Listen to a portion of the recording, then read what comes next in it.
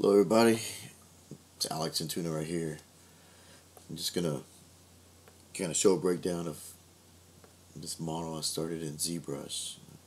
I'm gonna do, I was doing Groot, I like Baby Groot, so I was gonna model it from, I started it out with Z-Spheres, I just wanted to kind of show breakdown of how I started this model.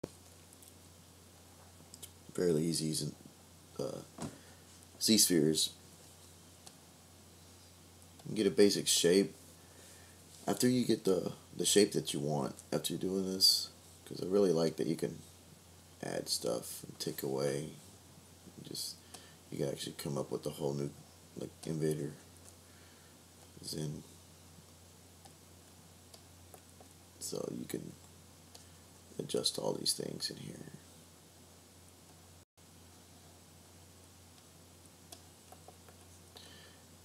Come up with some interesting stuff.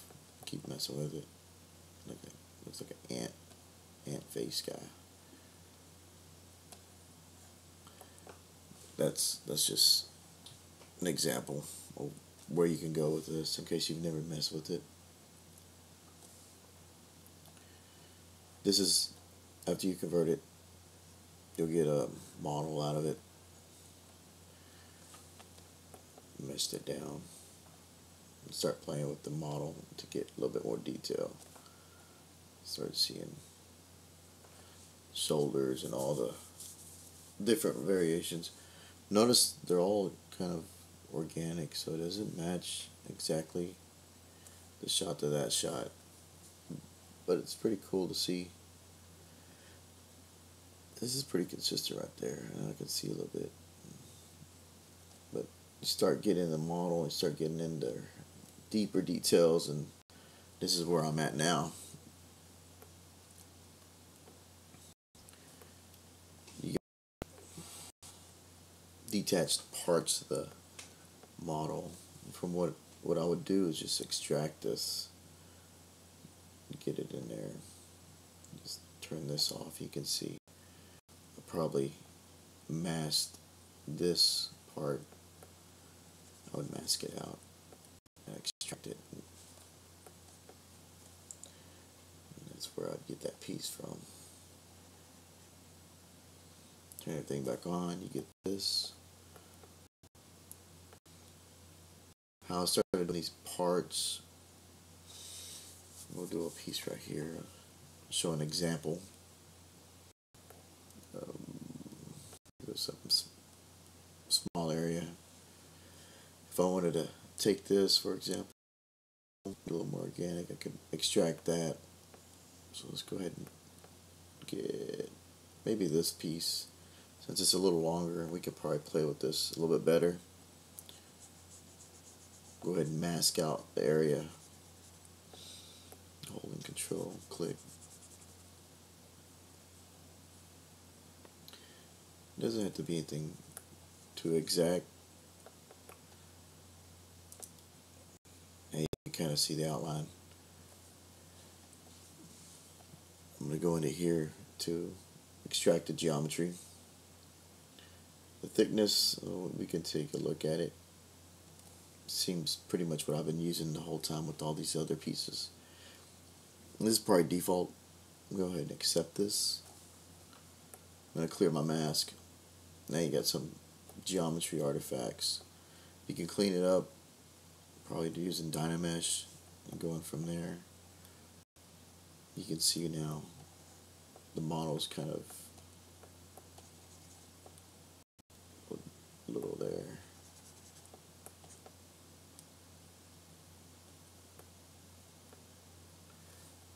see something real quick. Yeah. So that's what we got. I don't know if it needs more resolution. What it's asking me. See. On there, I think. Yeah. Let's go ahead and clear this out.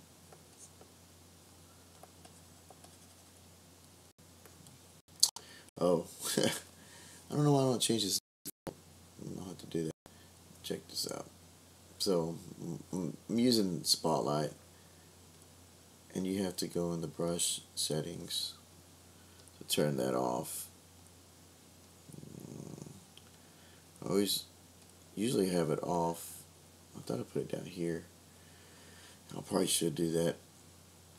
It's just so I'm not having to search around for this button. Let's see. Do you see it? I feel like um, Blue's Clues. Everybody's yelling to the screen. Right there. Where? Where? Up here?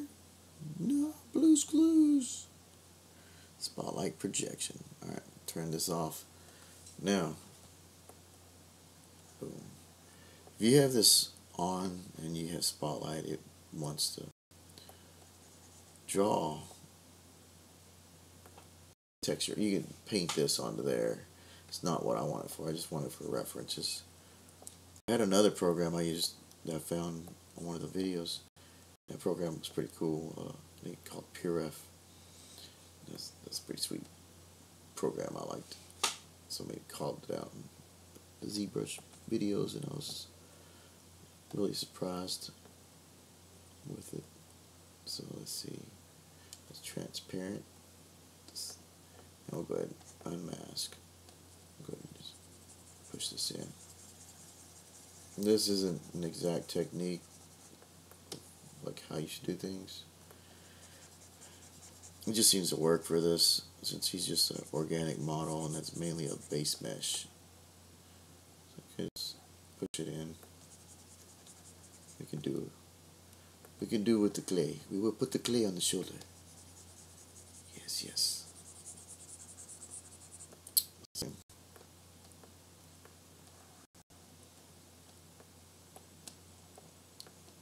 That's odd. But I don't see it on here. Let's just click it. Yeah, it's right there. Let's go ahead and do this. Like um, Sculptris mode. You just do your thing. Boom, gone. How cool is that? Sculptris mode just just want to erase it. Oh, too big, too small. All right, so boom, fixed. Now when I go back in here, I've got transparency on here.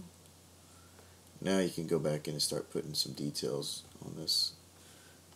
I want to fatten it up or whatever. I like to keep it fairly simple when I first started a little bit. Depends. There's never one way or other way that I try to, uh, you know, play different techniques. It's part of learning, I guess you can call it. You can do different techniques as you go along. It's just part of it. And we could just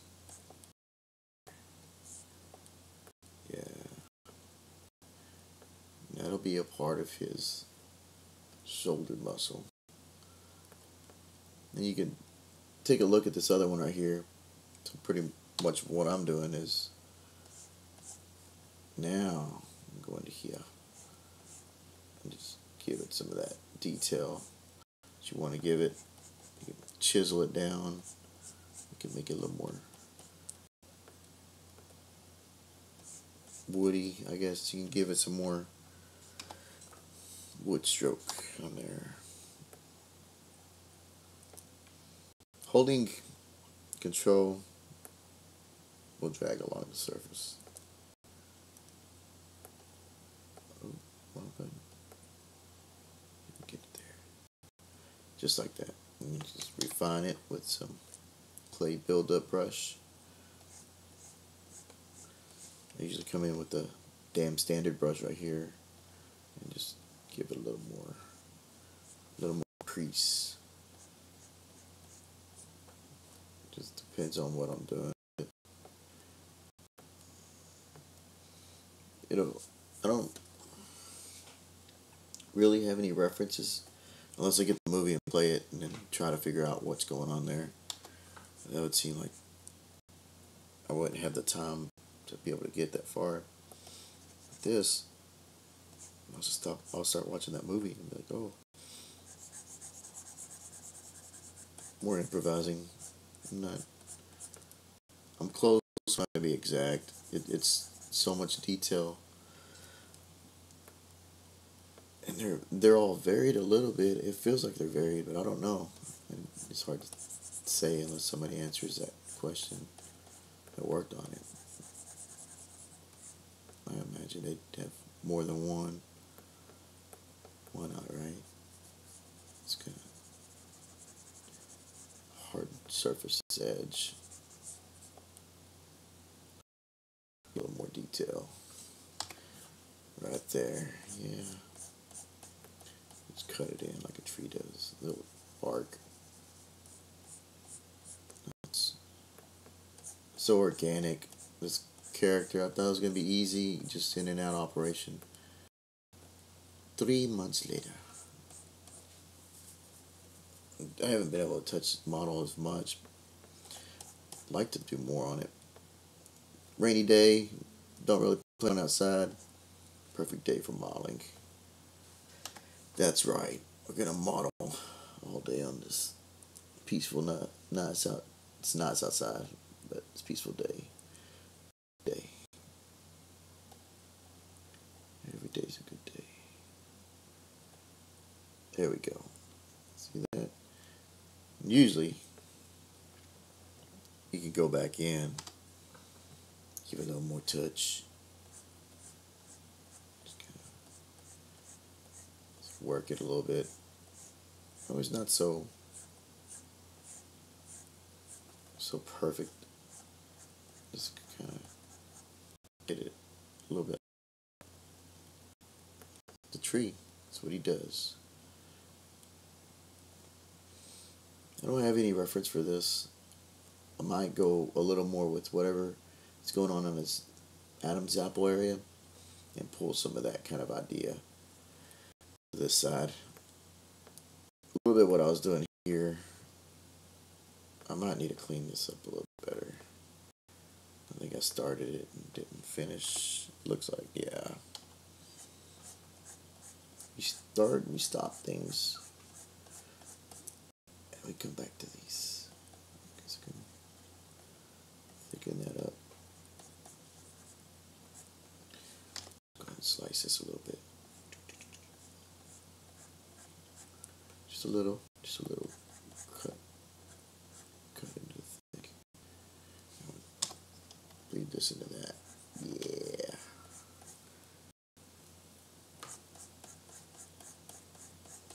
Hmm fun, fun stuff right here. And then if you see it go through, you can push it down, push it up, depending on what you want to do.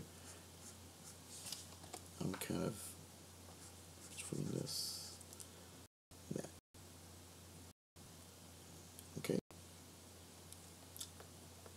Lower geometry comes from the Sculptris Pro if you're still, I don't know, in this video will become old and eventually this will be like common knowledge. And be like, dude, this is old news. I like to that little tree bark feel. That's what he is, a tree.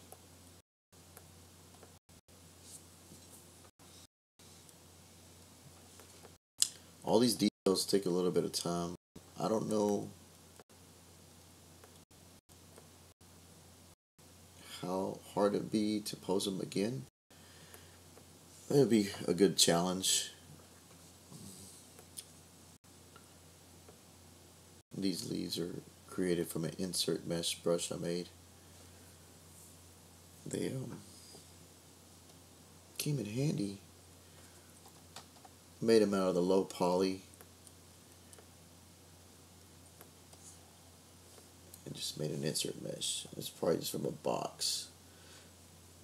Let's take a look at it. Geometry, dynamic, off. And that's all it is. Low, low, low, low poly. Because you always can do your dynamic and give a little bit more. And maybe, if given the time, do a little more detail in the leaves too. or add a texture. Texture would work. I think if I pulled it into another program, I'd be more I'd be more open to leaning towards the texture. That would be very fun. Or you put this in a substance, that'd be pretty cool too. With some time. That's where it's kind of been going, just slowly just making start from a spot and go. I originally had started with the head and started shaping it.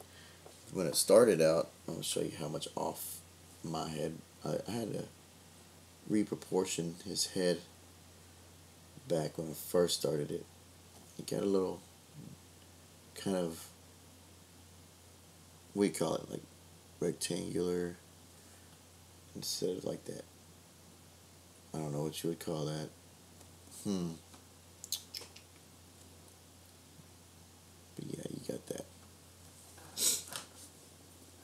Proportions were different. So I pushed and pulled, trying to get that roundness at the bottom with the baya. Very fun model though. Makes me want to watch the movie every time I start doing this. And then I could go back and probably make a suit. Or I could go back and keep this head and then discard everything else and then build that. That would be fun. And just have suit. That'd be interesting. Maybe there'd be another part to this after I get all these parts built out. It's complex. Not complex, but gets as many parts as some a mechanical thing. It doesn't.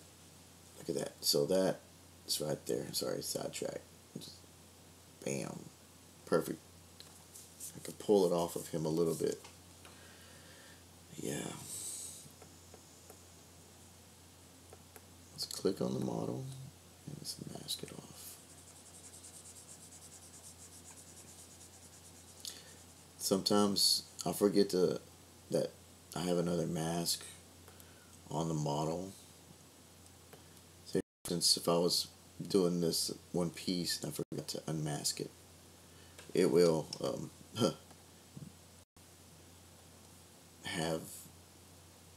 Let's see if this is right. Oh, solo. It'll have two extracts. Sometimes that'll make your scene heavy and you're not sure why you're getting extra geometry and stuff. Sometimes this this would still be masked in, given I hadn't done this indention, I probably would have forgot. now we can add this. I guess these little roots and stuff coming up. It'd be pretty cool. Hide this, and this will blend into that. We'll we'll go ahead and extract this. Extraction complete. Mask it off smooth it out. Probably could even inflate it if I wanted to, to make it a little more rounder after I do this to it. I'm going to go ahead and lower it. I don't really need it that, that heavy. I just want to push it in there area. There's another thing coming over here, which I'll probably, let's go ahead and get that now. So one mask, get rid of that. Mask this part. It looks like, no, it'll come down there. We'll just extract that. Boom, boom, boom. And then smooth it. And we can grab this, pick it up. It looks like it's into there. There's other proportions. See, we can mold that a little bit better in a bit. I think just for now, we're just push and pull, push and pull. Transparency mode is good right here. It looks like he's already in there. That area. Zooming in I can pull this up.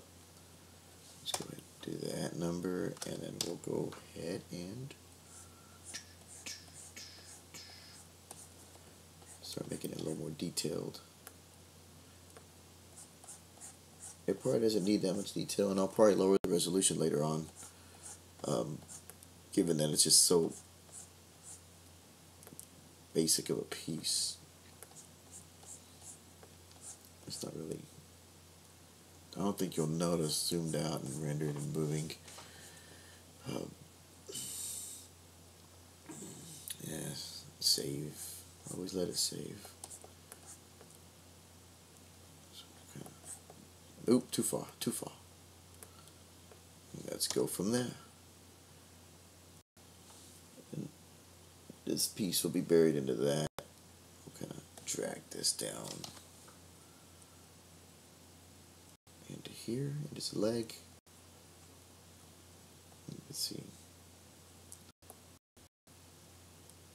We'll add some more detail to this, give it a similar look. I've been cutting and making it detailed. We'll do this right here. It doesn't look like it's too detailed, but that that reference can be deceiving. It might have all kinds of stuff in there, and I can't tell. So why not? Why not do it? It ain't gonna hurt. Let me just kind of blend it. Just cut it some more. You can see that I'm giving a little more these cuts that are straight. And sometimes I'd even polish it just to give a little little flatter surface sometimes. I really like this clay buildup brush though. It depends on the part. I probably polish these edges or push them in.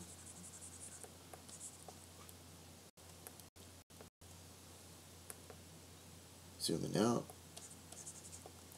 And just more detail, all that detail, it adds up. It's pretty cool. Just fun. Somebody told you you could get like unlimited amount of clay pretty much this is unlimited clay unless your computer's runs out of memory then you're you don't have much clay after that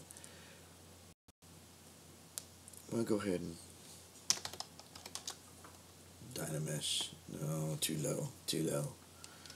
Let's let's increase that value. See if this works.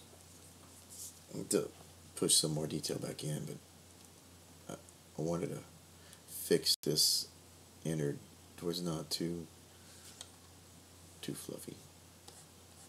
Turning on the masking, backface masking would help that, but it might be okay. Well, it'll live. We're going to lower the resolution anyway. Now you got pieces on pieces. And I like this because it gives you a chance to focus on one part of it instead of one whole mesh as a whole.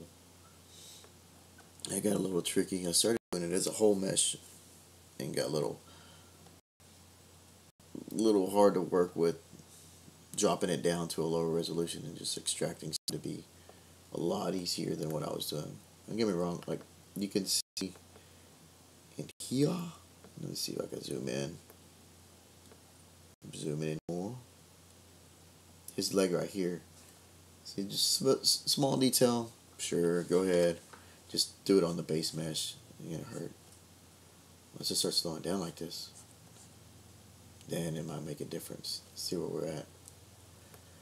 Oh wow. And something like this, I would almost be okay with um, decimating it or decimation master. You can see all the sculptures that I did. Or better yet, you can do a uh, tessimate. I haven't gotten to that part yet. I'll probably do this, uh, optimize this after uh, I stop the video just so it doesn't log up or anything and end up losing anything. Still want to get the eyes. I'm just of view now. The eyes need to be You get the iris. It looks so cool. I think once I get a chance, I could put something like that. That'd be so fun. You just see into his eyes. And He's like, yeah, it could be next. That would actually improve, like, help add some life. I was debating about putting a base under him, like this. Like this one right here. Let's see if I can go under. Pull this one over here. And building that, that'd be fun. Build this little toggle switch, the bomb detonator. That's what I got for now. I'm gonna go ahead and take a break and get this stuff. I'm gonna optimize it after I pause this. And continue the next part of it. Cool. Thanks for watching.